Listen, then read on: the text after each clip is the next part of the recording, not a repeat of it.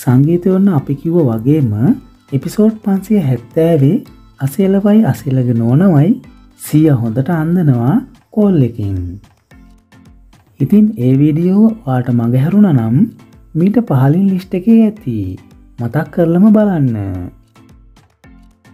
ඉතින් මේ දිනවල සිය අසේලට සුපිරියටම රෙටන් එක දෙනවා. අපිට හිනා යන විදියටම. අය අසෙලට සීයගේ කටින්නම් අසේනින්න තැනක් කොහොමුවත් දැනගන්න ලැබෙන්නේ නැහැ මොකද සීයා දන්නවා අසේලලා අසේනිට කරන්න යන වැඩෙන් හොදක් වෙන්නේ නැහැ අසේනගේ ජීවිතේ අනාගතය අඳුරටම යනවා කියලා ඉතින් සීය නම් කවදාවත් ජීවතුන් අතර ඉන්න කල්ම අසනිට එහෙම වෙන්න දෙන්නේ නම් නැහැ. ඉතින් සංගීතය බලන කවුරුත් ඒක නම් හොඳින් දන්නව ඇති.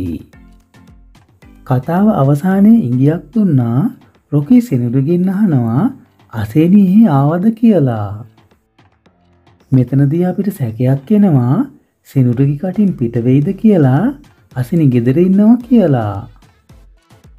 ඔයාලට මතක ඇති ළඟදි දවසක් සිනිරු මහිට කියනවා රොකි වුණත් මම එච්චර දැන් ගණන්ගන්නේ නැහැ කියලා.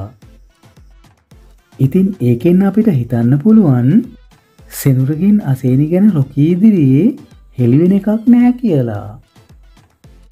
මොකද සෙනවි දන්නවා අසේනි ගැන රොකීදිරියේ කියවුනොත් එහෙම රොකි අනිත් අතට කලනයට කියයි කියලා.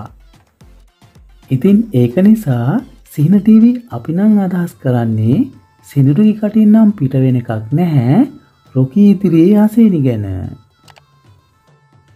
ඒත් ඉතින් සෙන්රුයි කටින් රොකී ඉදිරියේ අසේනි ගැන කියවෙන්න එපා කියලා අපි ප්‍රාථනා කරමු.